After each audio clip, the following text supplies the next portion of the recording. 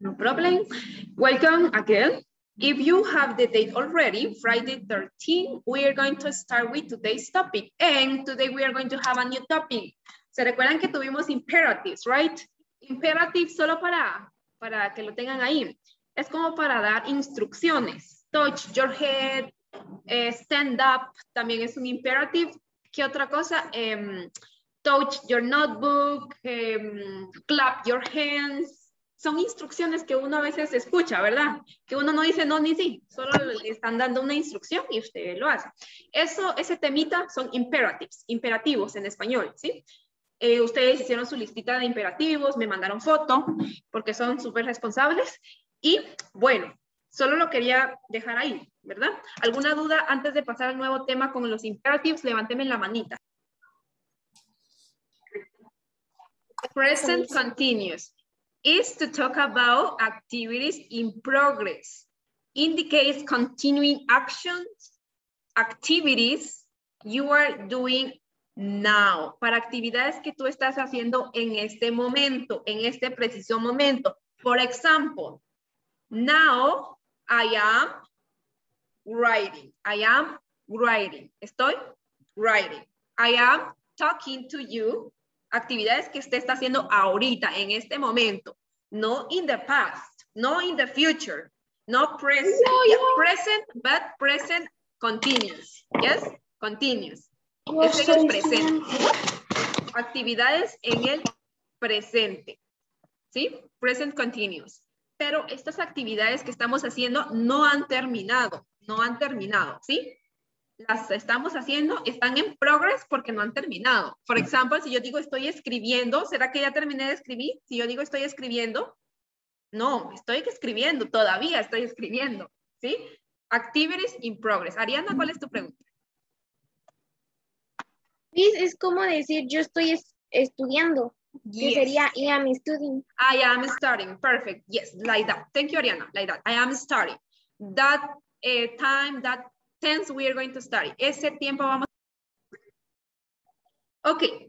As you can see, we have the structure, la estructura, digámoslo así. We have three groups. ¿Cuántos grupitos? One, two, and three. The green group, the purple group, and the yellow group. Okay. The, these are the subjects, los sujetos, right? Entonces, como lo tenemos en grupitos, este I'm lo vamos a combinar con am, todo, toda la vida, toda la vida. I am, I am a teacher. Eh, Bueno, esta es una oración diferente, ¿verdad? I am, I am, I am writing, I am em, starting, ¿sí? I am. He, she, and it lo vamos a combinar con is, el grupito morado. Let's continue with the yellow group.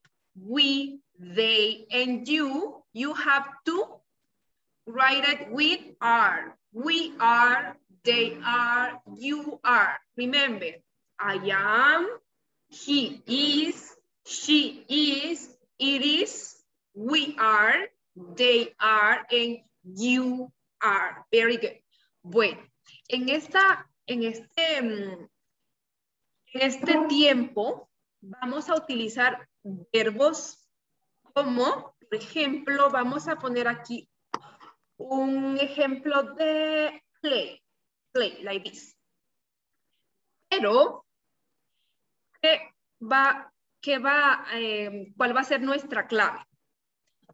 Lo vamos a anotar así. Siempre vamos a anotar los verbos con ing. ¿Qué me indica el ing? El ing me va a indicar que esa actividad la estoy haciendo en el momento. Eso es gerundio, ¿sí? Pledging. ¿Sí? Vamos a la actividad estar jugando. Digamos que es jugando. Estoy jugando. Esa es una actividad que está pasando ahorita, ¿sí? Entonces, si yo quiero decir que yo estoy jugando, ¿cómo puedo decir? Estoy hablando de mí. I am playing. I am playing. I am playing. I am playing. I am playing basketball. You can say I am playing soccer.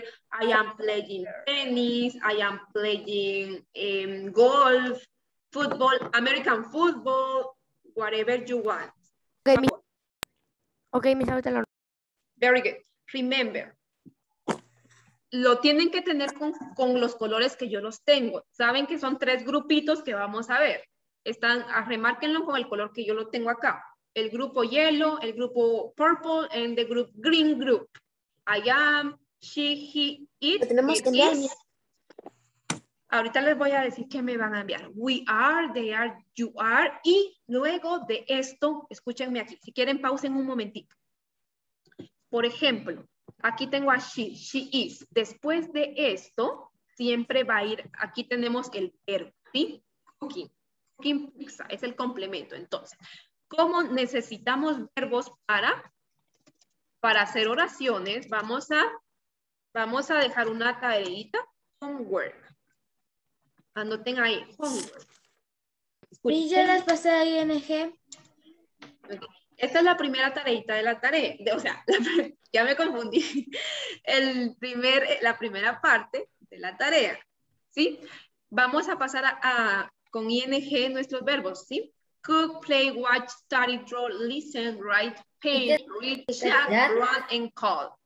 Bueno, lo voy a anotar yo aquí de una vez, algunas que yo tengo dudas, y no que, no te, que tengo dudas, no, sino que, que yo estoy segura que quizá no lo denotaron bien. Vamos a ver. Entonces, tenemos una que es study, tenemos wrong. Thank you very much. Esta era la, la, primera parte, como les había dicho, solo pasarlos a su forma de, de gerundio, ¿sí? Que está, esto está bastante sencillo, ¿sí? Solo algunos tienen alguna excepción, como lo que hice acá, running, que le dupliqué la N, ¿cierto? Running, corriendo, cocinando, jugando, eh, mirando, estudiando, dibujando, escuchando, cosas que uno está haciendo en este momento, ¿sí? En resumen, aquí vimos la forma afirmativa, porque yo aquí estoy afirmando que she is cooking pizza. Ella está cocinando. ¿Cuándo está cocinando ella? ¿Ayer, hoy o mañana? Hoy. Ahora. A ver, ahora. ¿En qué momento? Hoy, ahorita, tiempo presente. hoy, ahorita, Presente. En presente, pero ¿en qué momento? ¿En qué momento está? Ahorita. Ahorita, I am cooking, estoy cocinando. ¿Cuándo estoy cocinando? Ahorita, Ahorita. I am cooking. En este momento, ¿sí? Bueno, me van a, van a pensar ustedes eh, en unas tres actividades utilizando estos verbos que tenemos acá. Y me van a escribir eh, tres oraciones afirmativas, como esta, she is cooking pizza, utilizando cualquiera de los grupitos, pueden utilizar we, pueden utilizar el grupo verde, I am, el grupo moradito, she is, he is, ¿sí? Y lo van a combinar con esto. Por ejemplo, vean, esto está fácil. Yo aquí decidí utilizar cooking. Puedo poner eh, she is cooking, eh, vamos a ver qué otra cosa. Mm, le vamos a poner cookies. Cookies. Cookies. Puedo poner otra cosa. She is cooking. ¿Qué otra cosa puede haber? Bueno. Pero quiero en total tres. Nos vamos a dar foto más tardecito, chicos. Nos vamos a quedar acá. Listo. Tres ejemplos nada más en afirmativo. Nos vamos, chicos, porque ya es hora.